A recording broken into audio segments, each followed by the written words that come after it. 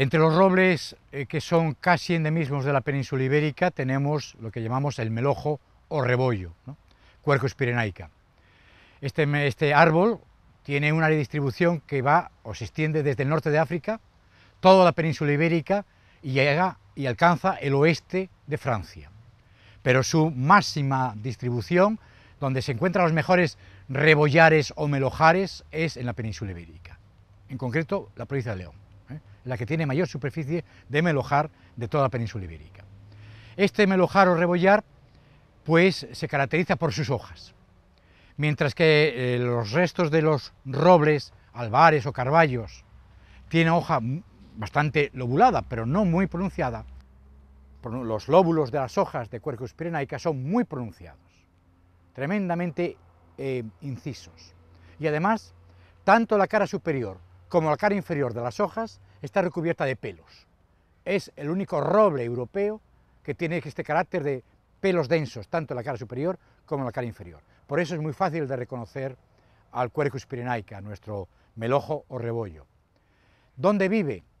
Pues forma bosques, más o menos eh, monotípicos, donde él domina, en áreas donde las precipitaciones son escasas.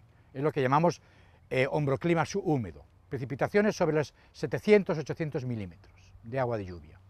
Es ahí donde el melojo domina, por eso es muy abundante en todo eh, Castilla y León, en la, zona norte, y aquí en Asturias es abundante fundamentalmente en la zona de la cordillera. Hay áreas de la zona de la cordillera bastante secas donde el melojo domina. Por ejemplo, en el Valle del Navia, los melojares, el melojo es muy dominante.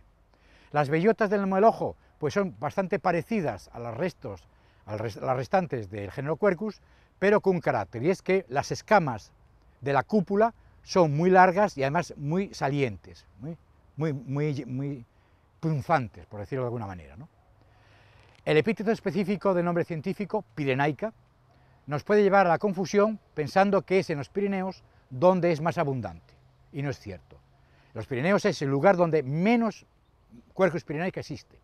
La razón de que se llama este roble Quercus pirenaica viene de antiguo, cuando los eh, herborizadores del Linneo le enviaron los materiales de la península ibérica, le enviaron un material que ponía Pirineos.